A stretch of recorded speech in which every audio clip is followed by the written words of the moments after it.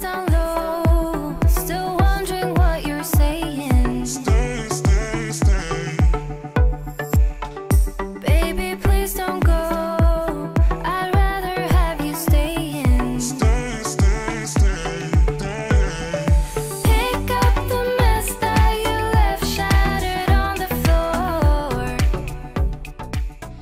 Hey guys, welcome back to my YouTube channel. Today I have this smoky, glittery, glamorous eye look. And the first thing I do is always prime my eyelids using the MAC Soft Ochre Paint Pot. And today I'll be playing with the Jaclyn Hill Morphe palette. And the first shade I'm going in with is this light brown shade. And I'm going to blend it all over in my crease, going from the inner corner to the outer corner. And the brush that I'm using is a Anastasia Beverly Hills blending brush and this just blends really smoothly. The Jaclyn Hill palette is one of my favorites because it has a lot of warm shades, a lot of matte shades which I love and also just a very nice variety of colors. Then I'm going to use this warm brown shade which is slightly darker than the one I used before. And I'm just going to slowly build it up by going in with darker and darker colors.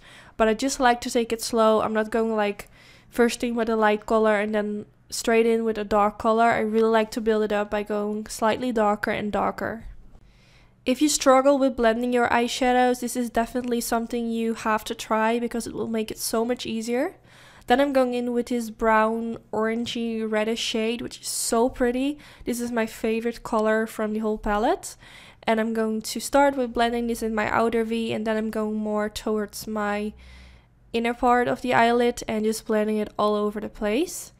Then I'm going even darker and I'm using this reddish burgundy brown shade. And I'm starting up my outer V again because I want the most product to be here because it's quite a dark shade. So if I go straight in towards my middle part of my crease, sometimes it goes wrong. It's harder to blend out for some reason. So I always uh, start at my outer V and then once there isn't as much product left on my brush anymore, I go more towards the middle part. And yeah, this is something I just do to prevent if it goes wrong, just like to be safe.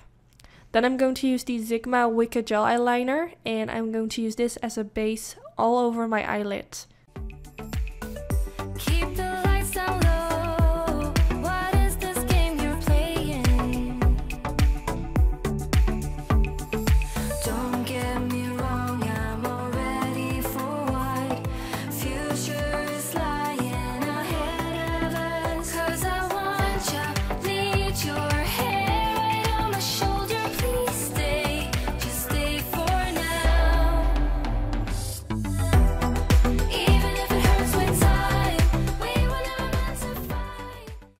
When I'm done with applying the eyeliner all over the eyelids, I'm going to use the black eyeshadow from the Jaclyn palette.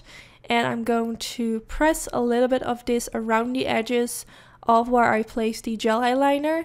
And I'm going to try to smudge it out and make it less harsh.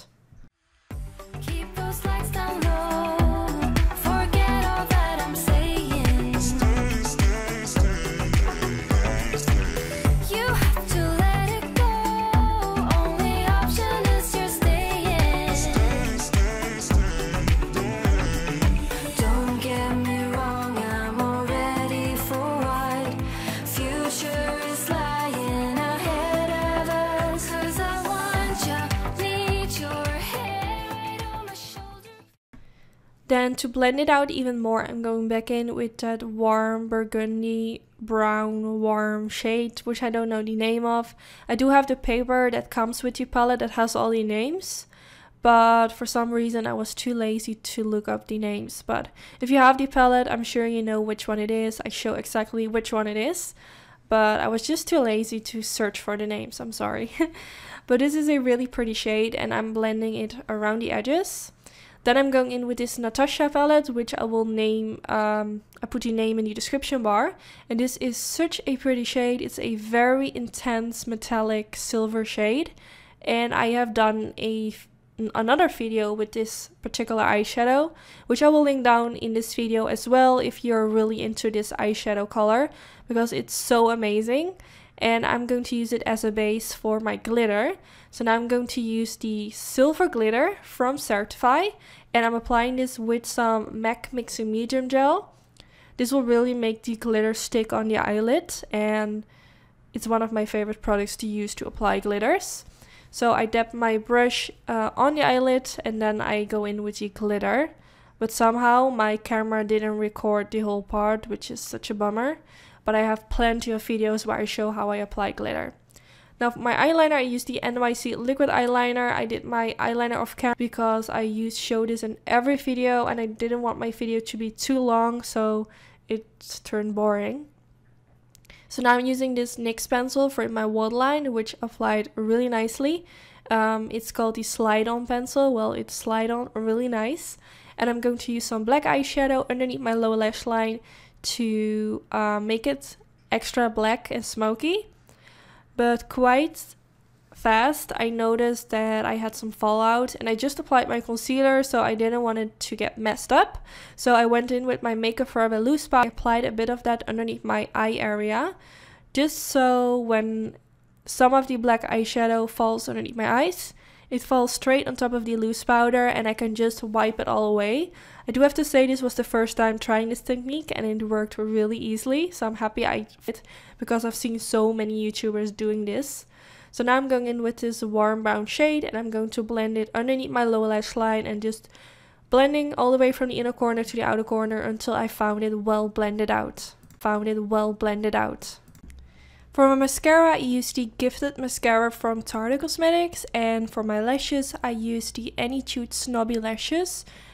I never really show this part of how I apply my eyelashes because I find it kind of unnecessary to show it in every video. Um, but in today's video, I didn't show the eyeliner, so instead, I wanted to show you how I apply my eyelashes. So I apply the lash glue and then I lean them on the eye my own natural lashes and press them against where I have placed my eyeliner. And then I'm just going to press first part so edges of the lash band is stick to my um, eyelid. And I do the same at the other end and then I'm going to press or kind of squeeze my own natural lashes against the fake lashes using a tweezer. So then here you have the end result of the eyes. But today I'm also going to show you how I did my face makeup. I applied my foundation and concealer off camera. I will also put the name of the products in the description bar. And I'm going to use the MAC Strip Down Lip Pencil. Down Lip Pencil. So just like I did in my previous video, I'm going to start with the lips. Just because I feel kind of naked without anything on my lips.